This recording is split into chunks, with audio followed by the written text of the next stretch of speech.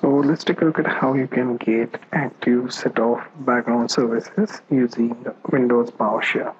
So by default, Windows has get dash service. This command allows Windows to show you list of services on the system. So when you run this, it will show you all the running, stopped, and paused services. Okay, so if you want to only get the running, then you may have to change this command bit by adding few pipeline of commands. So let me clear this. Okay, now type in get dash service, then use pipe symbol, and then use let's say where dash object.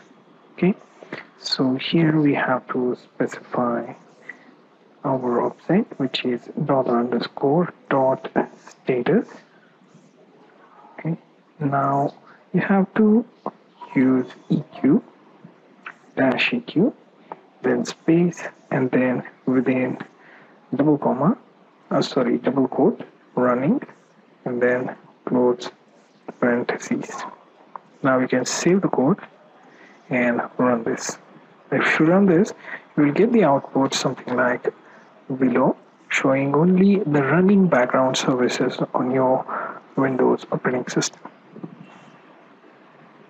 Okay, based on this status running, you can get that. Similarly, you can also get the stopped services by changing running into stopped. So this was small demo on how to get active set of services using get dash service command. Also shown you how to get the running services that are on your Windows system.